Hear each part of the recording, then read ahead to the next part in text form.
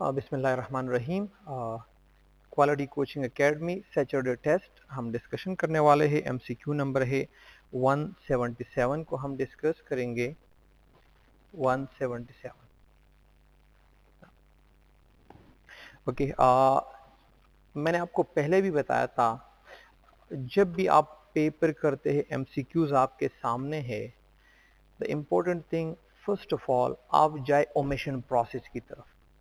जब आप ओमेशन करते हैं तो याद रखिए आपके पास जो ऑप्शन है, वो आपको पिक करने में आसानी होगी।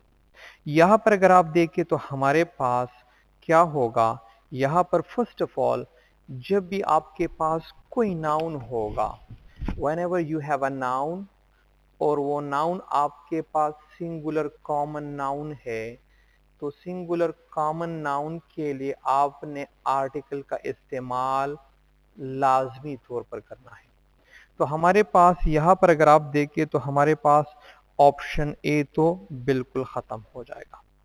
दूसरा, हमारे पास जब भी हम पोजीशन के बारे में बात करते हैं पोजीशन तो पोजीशन में you have to keep this thing in mind कि अगर आपके पास एक लफज की एंडिंग एस से होगी तो आप सिर्फ़ ट्रॉफी लगाएँगे नंबर वन अगर एस से एंडिंग नहीं होती तो आप क्या लगाएँगे?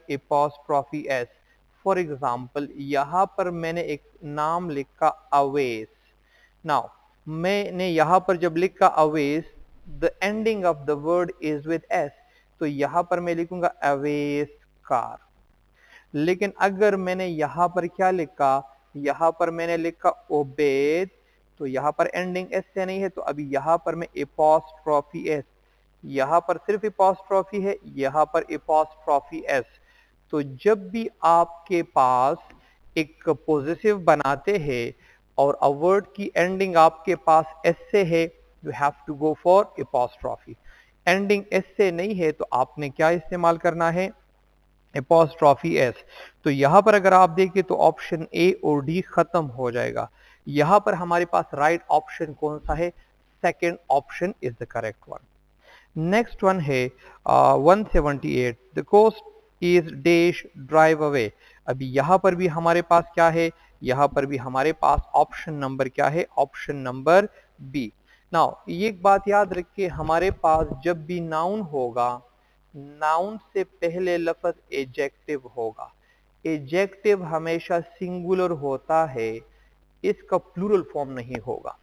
तो यहाँ पर आपके पास कौन सा हो जाएगा? Option number second is the correct one next है ईच चाइल्ड या एवरी चाइल्ड या होल या ऑल नीड्स लव हमारे पास टर्म है, एक है each and the second one is every now what is the difference between these two terms each हम इस्तेमाल करते हैं फॉर टू एंड एवरी हम इस्तेमाल करते हैं मोर देन टू के लिए.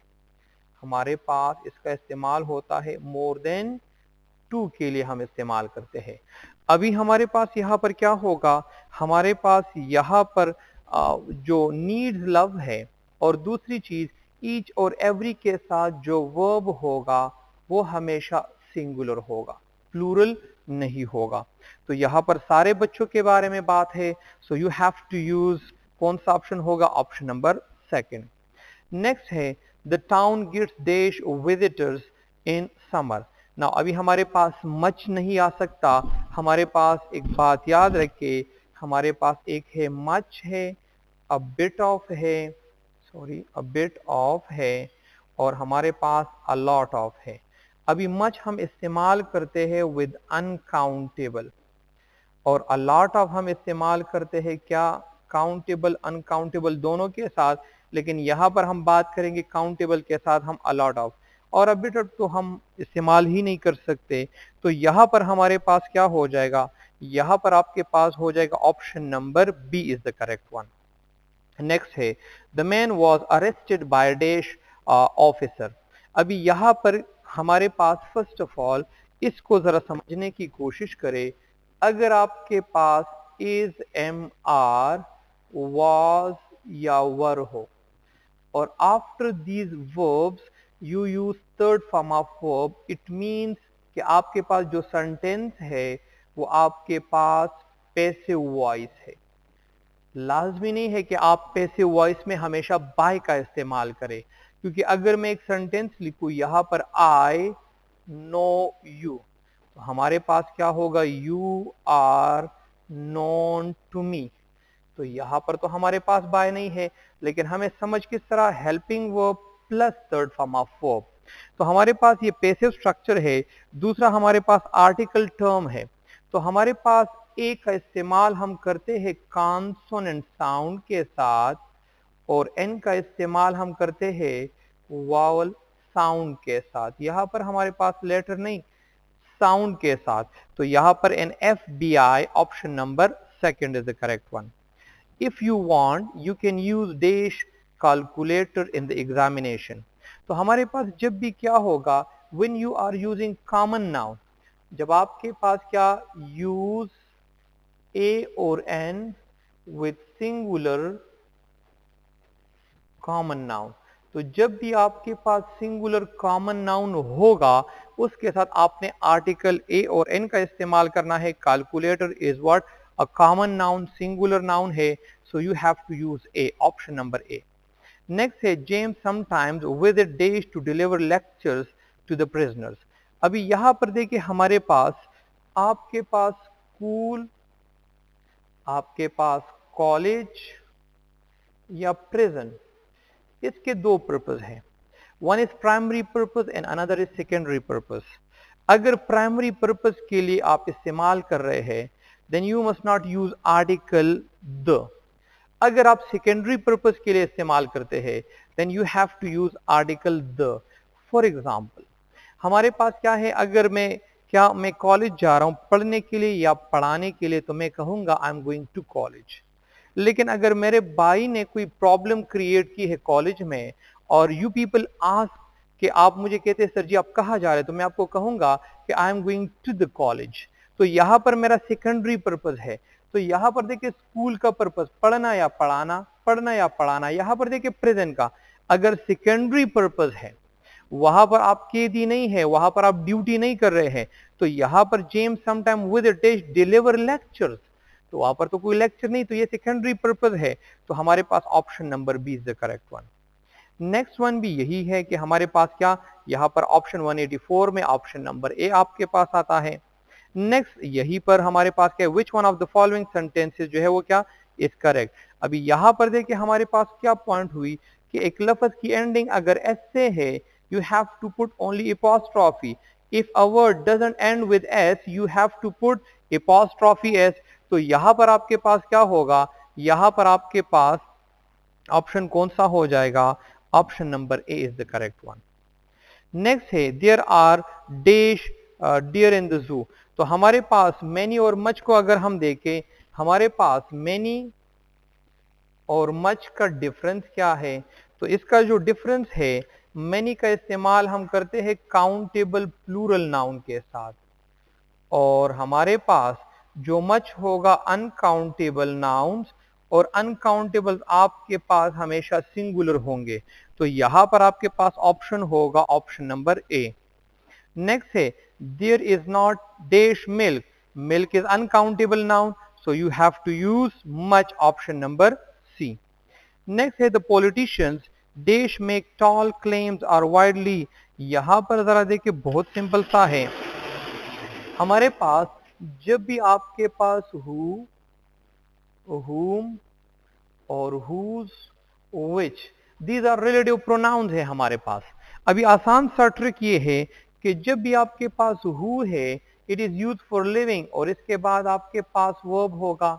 It is use for living यहाँ पर आपके पास सब्जेक्ट होगा और वर्ब होगा। हुज आपके पास लिविंग के लिए? नाउन होगा सब्जेक्ट होगा प्लस वर्ब होगा और ये आपके पास नॉन लिविंग के लिए। अभी यहाँ पर देखिए हमारे पास क्या है? द पॉलिटिशियंस पॉलिटिशियंस जो है वो क्या है? लिविंग है।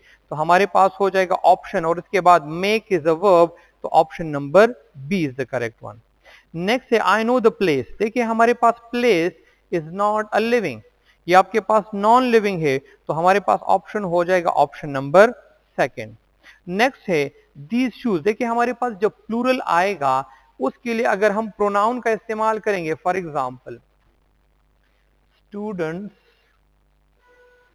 are there अभी यहाँ पर देखिए स्टूडेंट्स के लिए अगर मैं प्रोनाउन इस्तेमाल करूँगा तो यहाँ पर हमारे पास क्या होगा? दे होगा।